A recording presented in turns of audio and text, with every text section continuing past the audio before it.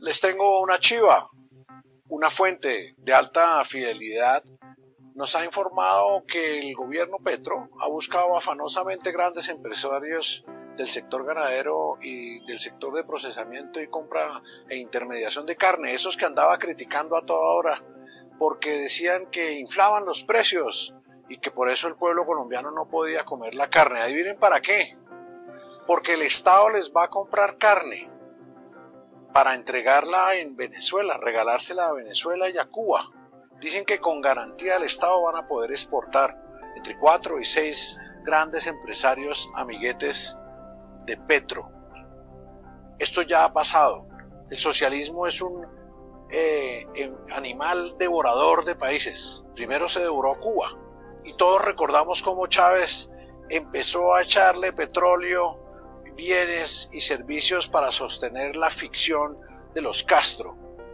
Una vez habiendo devorado Cuba y Venezuela, es ahora el turno nuestro. Con nuestros impuestos vamos a empezar a darle carne a países que no son capaces de alimentar a su propia población, de verdad. Pregunta Petro, ministra de Agricultura, señor director o, directores de ICA, ¿es cierto eso? ¿Vamos a exportar carne a Cuba y a Venezuela con garantía estatal con los impuestos de los colombianos? ¿Ya empezó la depredación de Colombia?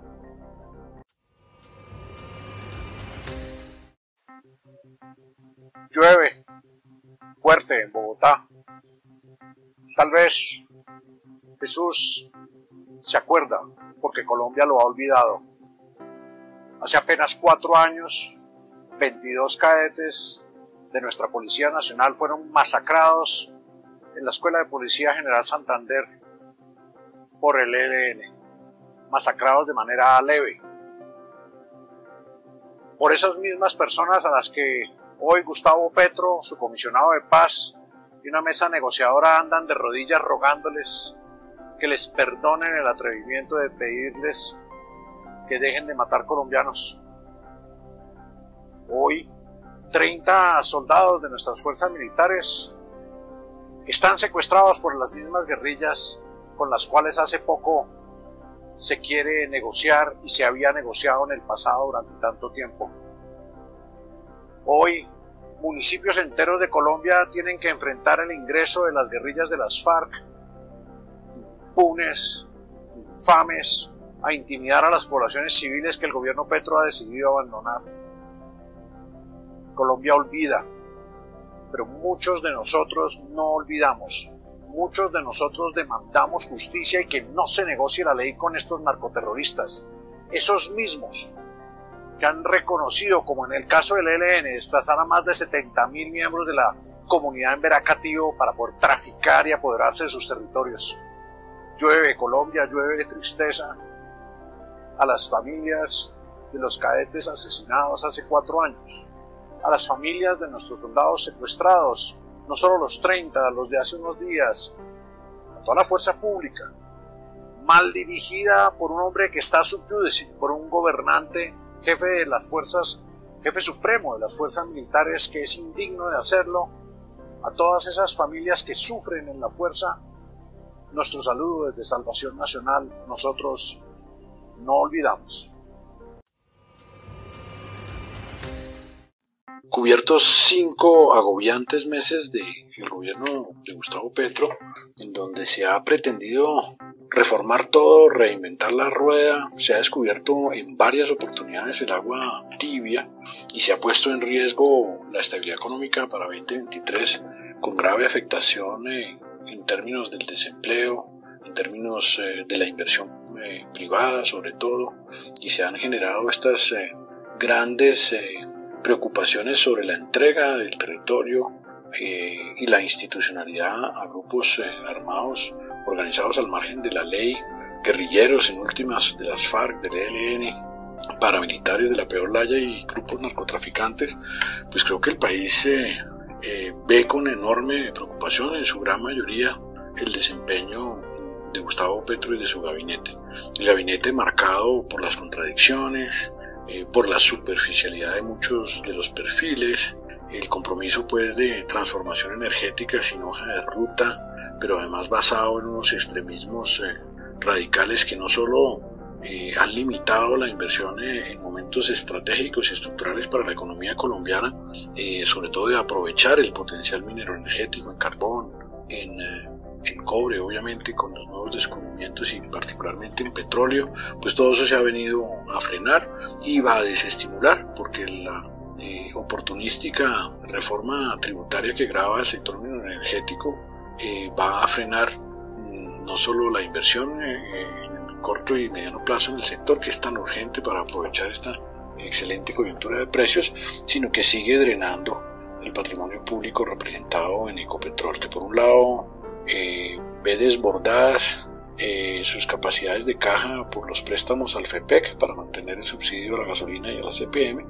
y por otro lado pues ve cómo la nación eh, va a agravar significativamente sus utilidades en el desarrollo de sus operaciones. Para nosotros en Salvación Nacional el, el panorama es triste, la reapertura de las relaciones consulares con Venezuela y comerciales es un punto positivo, era algo indispensable de hacer, era inútil el castigo ético y moral a un dictador que nada sabe de ética ni de moral ni le importa, pero obviamente que el, tono y la sistematicidad del falso relato de Gustavo Petro pues nos deja muy preocupados, eso no es como que se abre un puente eh, de frontera y ya de inmediato está creado el comercio binacional como el presidente se lo imagina en su mundo pueril y ilusorio.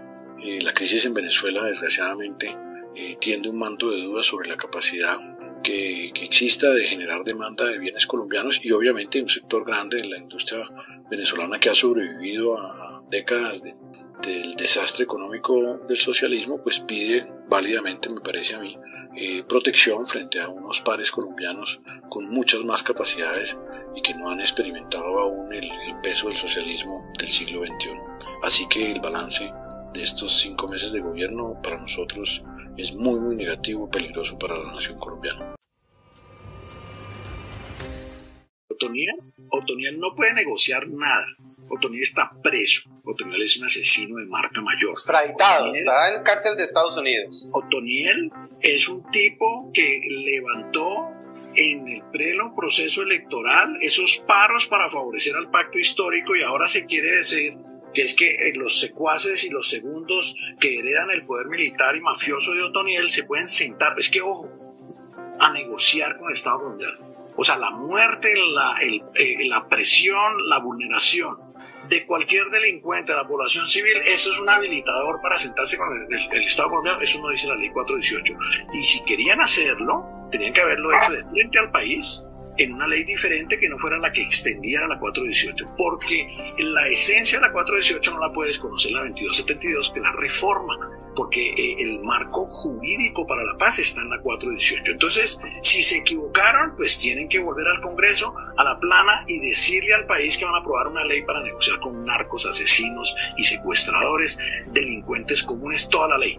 Entonces, a ver qué dice el Congreso y a ver qué dicen los votantes de estos congresistas. Lo que se quiere hacer es un criterio ambiguo, definir una, situación en el Ejecutivo, una comisión que nadie conoce y que, como bien lo dice la resolución de la vicefiscal, dice, es que usted ni siquiera me explica qué es alto impacto ni por qué decidió que estos sí y aquellos no. Es una vaina de secretismo, es una vaina eh, eh, oculta y entonces al presidente se le sube la espuma porque los funcionarios que representan la institucionalidad con argumentos, con actos administrativos formales, no le aceptan las reglas ambiguas esas de esta oscura comisión que además cuando pide la suspensión de órdenes de captura, cuando pide las libertades, ni siquiera explica por qué. Y eso es muy grave porque son delincuentes muy peligrosos para la sociedad colombiana.